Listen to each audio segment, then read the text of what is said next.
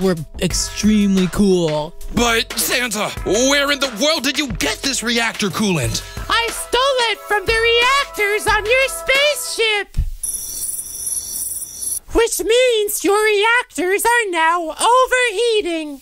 Uh, uh, uh, Which means your ship